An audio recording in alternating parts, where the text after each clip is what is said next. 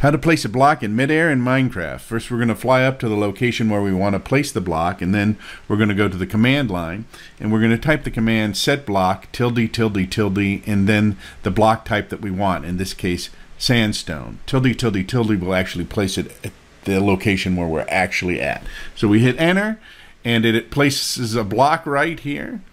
And so then from there, we can pick any block we want and connect it on and make a platform or whatever we want up in the air. I'm Mungo Dark Matter, and I'll see you next time.